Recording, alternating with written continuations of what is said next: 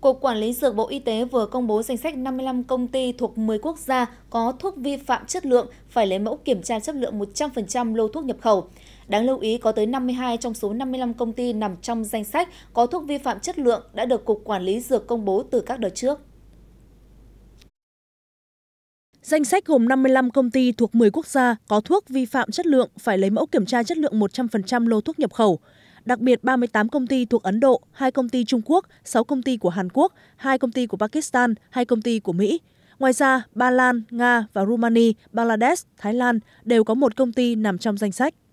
Cục Quản lý Dược đề nghị Sở Y tế các tỉnh thành chỉ đạo các đơn vị thanh tra, quản lý dược và kiểm nghiệm thuốc thuộc Sở tiến hành kiểm tra, giám sát việc chấp hành các quy định về kiểm tra chất lượng thuốc nhập khẩu, lưu hành trên địa bàn và xử lý các tổ chức cá nhân vi phạm.